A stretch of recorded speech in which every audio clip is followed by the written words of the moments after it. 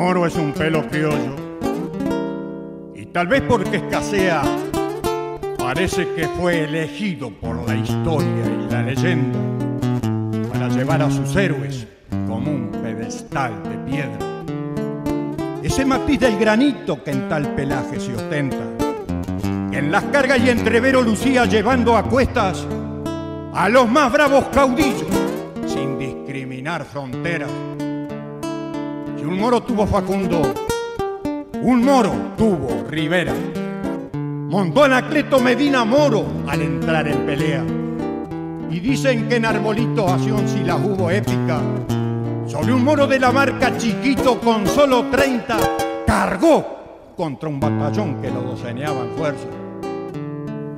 Aquí en un moro escarceando, regresó a la frontera Martín Fierro, el gaucho sabio, que Con una visión del campo que es una obra maestra. Martín Aquino, oriental, el matrero de más mentas, si tiene que matrerear en un moro, matrerea. Y hasta en la limpia poesía de nuestro gaucho poeta, cuando se pinta caballo, a un moro se le enorqueta, supo ser buen jinete don Wenceslao Varela. Algo eligieron moro. Yo calculo que sea porque jamás niegan fuegos aunque se moje la yesca. Si les hablo del moro que monto, perdónenme la inmodestia.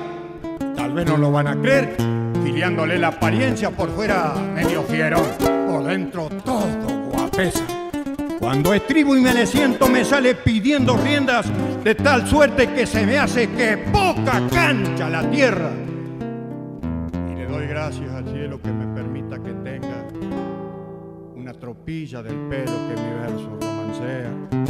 Y cuando voy de a caballo me da por sacar la cuenta que en algo le ando empardando a la historia y la leyenda.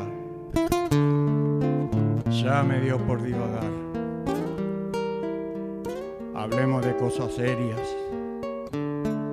Artigas tuvo un morito, según la historia lo cuenta, y sintiéndose morir en la paraguaya tierra, se enderezó en sobresalto.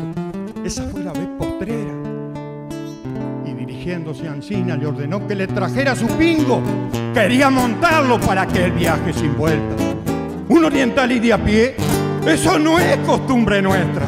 Desearía el general no pasar esa vergüenza de presentarse del modo que lo hace cualquier lindera, sino montado en su moro, con la frente bien eñeta, entrar a la eternidad, y de pierna abierta.